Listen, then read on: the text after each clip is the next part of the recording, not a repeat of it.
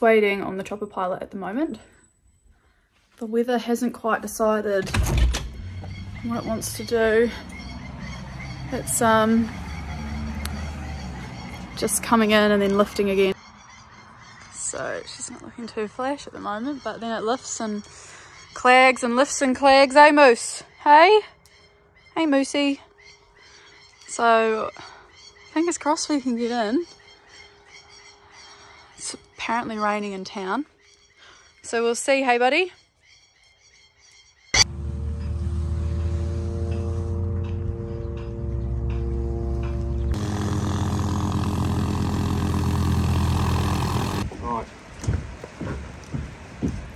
Dad had flown in five days earlier, so we caught up over a cup of coffee on his hunting and what animals he'd seen. Once I got my gear squared away, we decided we'd get out and stretch the legs for a quick afternoon hunt between the heavy showers. Nothing was seen, heard, or smelt, but it was great to get out in the fresh air.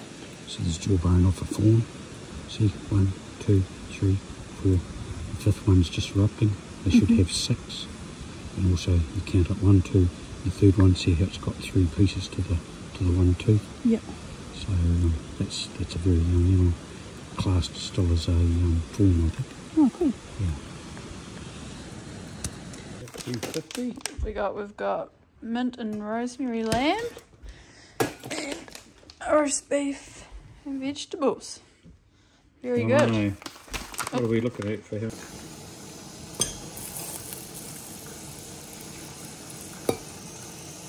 And um, yeah, if we get a chance, if I'm in front there's something there, and got time, my Indian Yep. rifle. Sound good? Sounds good.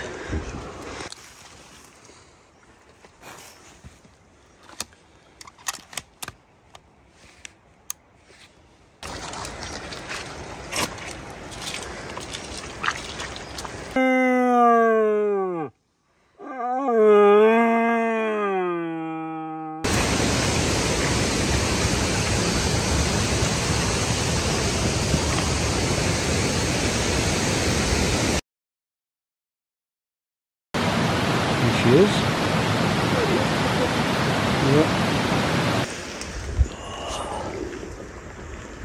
Wind is not good. Oh, we're in the bivvy, dodging the weather. Yep, she's went cold. We've had a stag, Yep. so just trying to figure out what the plan is.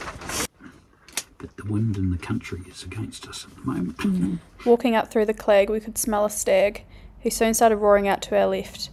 So it had been a bit of a waiting game for the weather to lift. Finally spotted the stag. So Dad now has the fun task of getting a picture of him without the bipod. Do you regret leaving that behind this morning? Yes. Always heaps.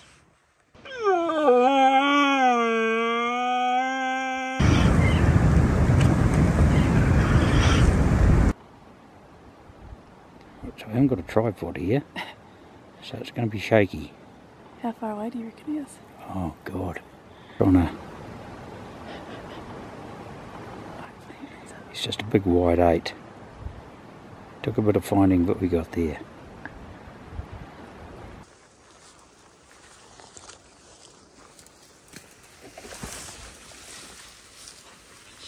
Jesus.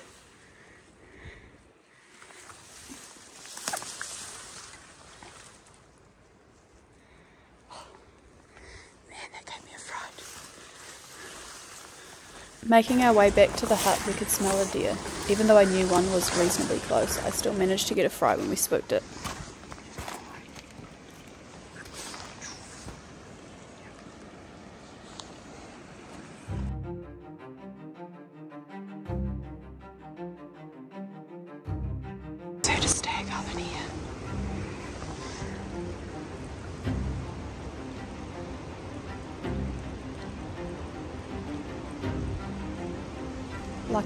Gate, Dad was running into the bush. I had absolutely no idea what was going on. I was more concerned on trying to keep up with him and not ask over. He later explained that we needed the wind on our side and had to take action pretty quick, otherwise it would all be over. How you feeling, Lucy? Oh. That happened a bit quick, didn't it? Look at your hand. He was like 10 metres away. I've seen his antlers and then he's so close it was like Yeah, he come in real quick. Awesome. the pressure. Yeah, that's what it's about. Hopefully he's just up there. I didn't expect him to be right there. Yeah, he was coming in. He was just in there, 10 metres away, when Lucy shot. Even I'm shaking. That was awesome.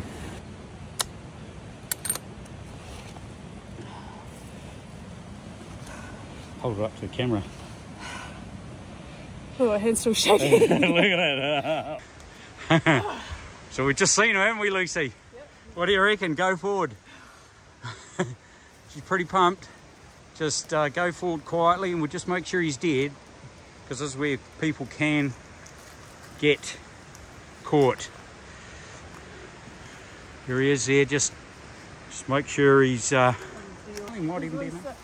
Oh yeah, Pretty even though. Awesome. Let's have a look. Ah, great. Well, it's not about the size of the antlers on this hunt. It's about Lucy. Well done, mate. Give us a thumbs up because that was awesome. That happened bloody quick. Oh.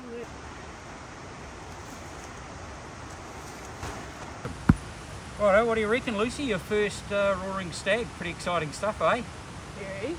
Came in a lot quicker than I anticipated. I thought we had a bit more time. I saw the shot. I could see the dust either side of his, of his body and uh, sounded pretty good. But uh, how's the hand, Lucy? Has it stopped The- shaking? Yep, Yeah, uh, they've uh, stopped now. They've stopped now. They were shaking a lot there before, but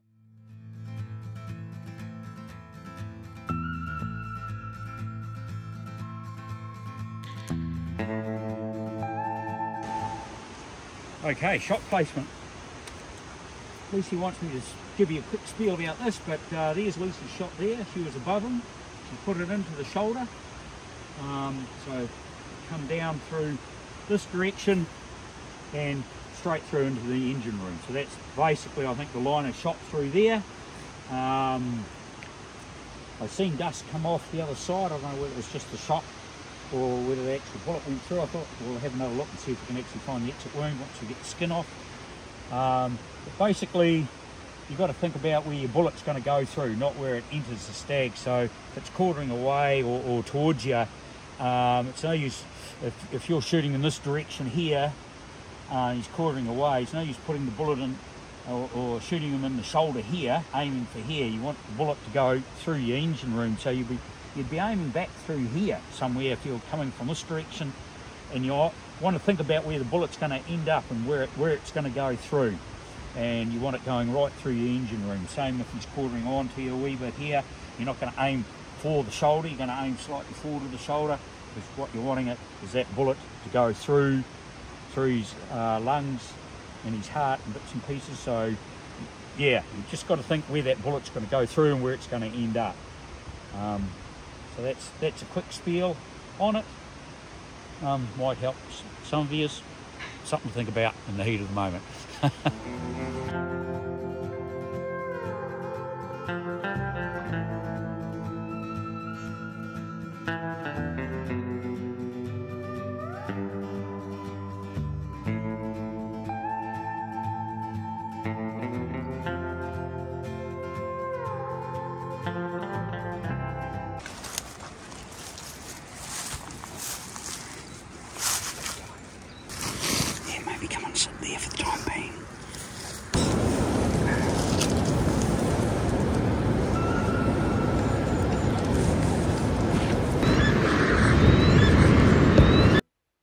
We sat on our clearing and watched till it was dark.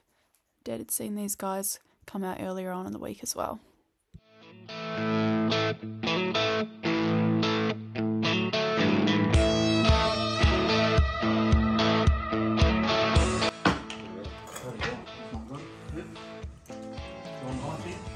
Lucy Stag, Wee Port. Is that right, Lucy? You need more. No, that's plenty. No? That's thinking. I'll have the same level, eh? Yeah.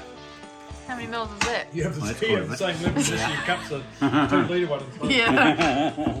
Yeah, well, um, it's all good. Well done, Lucy. Cheers. Thank you very much. Beautiful.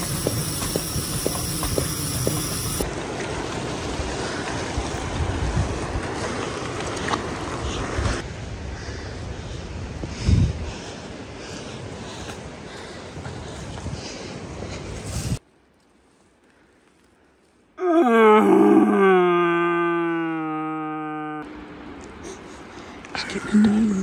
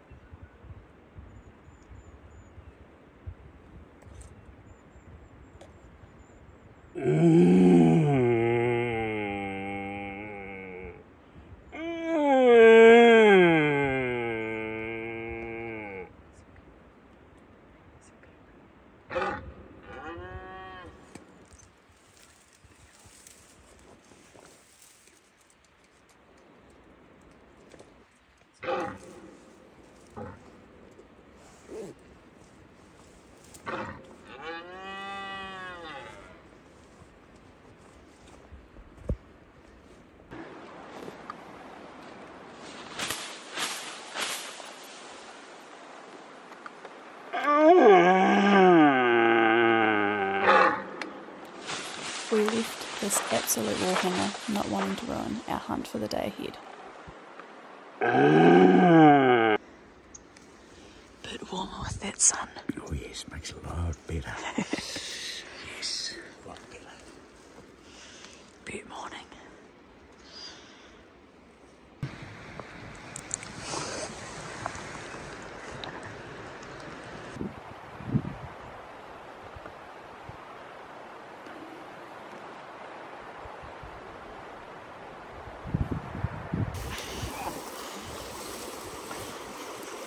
See that hole there? Got me. Right. Um, uh,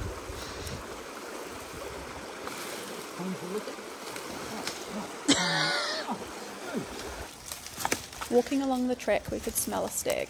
We heard some movement up to our right and decided to sneak up for a look. We dumped our packs and away we went. With fresh sign, a strong scent, and nice bush, we were ready for action. However, he must have caught our wind and outwitted us.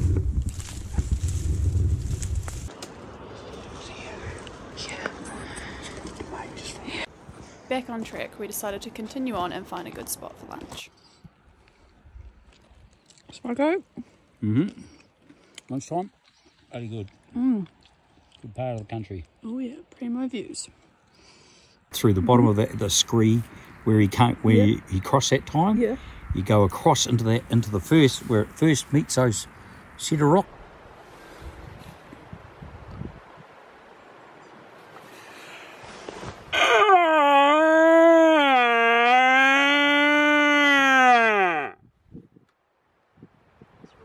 got.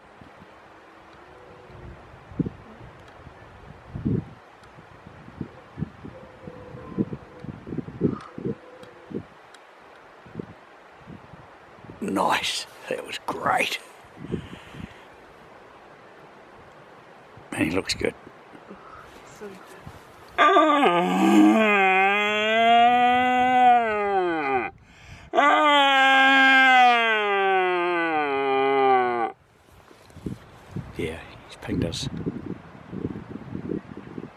Stay still. Although he was impressive, he wasn't quite what we were after, so we started making our way back to the hut. That.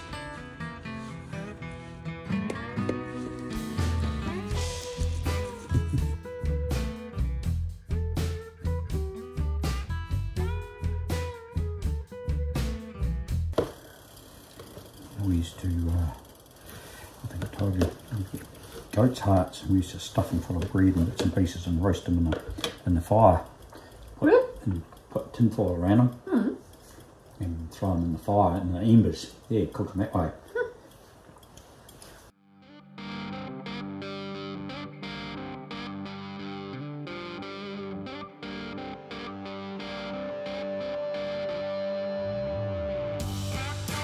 Lucky enough to see our eight pointer again and watched an epic sunset. The valley looked as though it was on fire.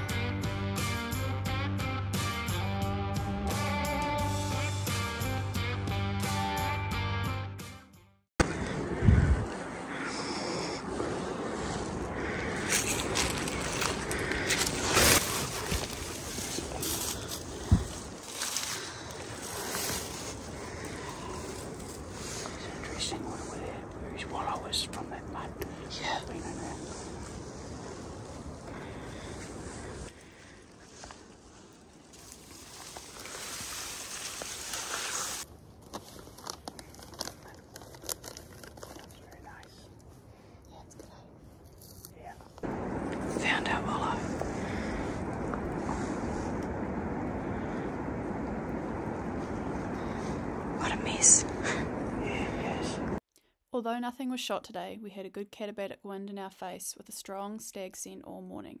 We were tracking plenty of fresh sign. The hills were pretty quiet though, only hearing one roar. We finished off our hunt with a nice anabatic wind on our way back down the ridge.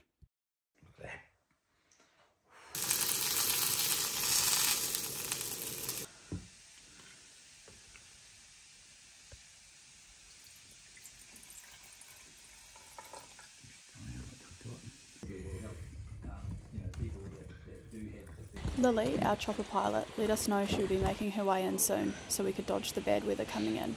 We'd left the hindquarters in a tree, so we literally had to run up to where I'd shot my stag and retrieve the meat in time for our flight out.